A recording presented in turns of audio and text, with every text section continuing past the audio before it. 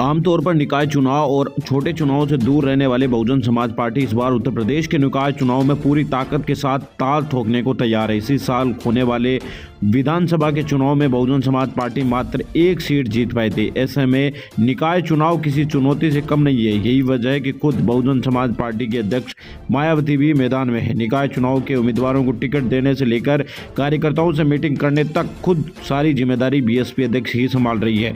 अन्य दलों ने जहाँ अपने प्रदेश और जिला स्क्रीनिंग कमेटी के लिए प्रत्याशियों के चयन की ज़िम्मेदारी छोड़ी है। वही बहुजन समाज पार्टी के अध्यक्ष मायावती जी ने खुद इन प्रत्याशियों के चयन की ज़िम्मेदारी संभाली है। बता दें कि बसपा ने यूपी में हाल ये उपचुनाव नहीं लड़ा था। इसके बजाय पार्टी ने स्थानीय निकाय चुनाव पर ही पूरा ध्यान केंद्रित किया हुआ है। बहुजन समाज पार्टी के अध्यक्ष मायावती जी व्यक्तिगत रूप से नगर निगम में महापौर नगर परिषद नगर पंचायतों के अध्यक्ष और नगर निगमों के नगर सेवकों के लिए टिकट मांगने वालों से मिल रही है।